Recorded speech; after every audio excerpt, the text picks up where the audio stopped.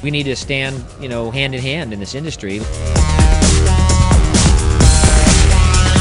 It gives us a fantastic platform to share the best practices and the best ideas that we have in the cable industry.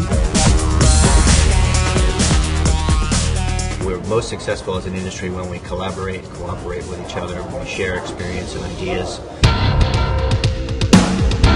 I think the networking, uh, not only on our networks but also between uh, the participants, uh, is, is very important. You know.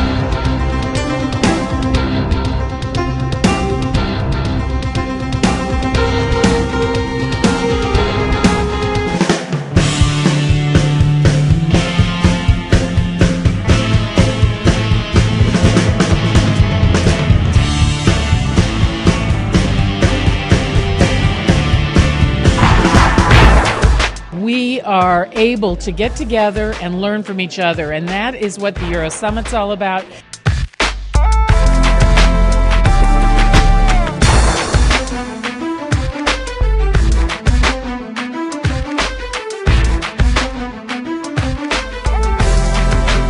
You're not here, first of all, you're going to miss all the inspiring presentations. Second of all, you're going to miss all these network events.